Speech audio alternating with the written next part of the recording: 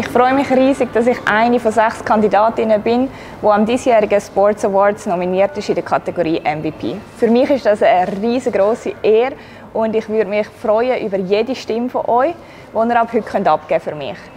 Ausgestrahlt werden die Sports Awards am 11. Dezember am Abend auf SRF 1.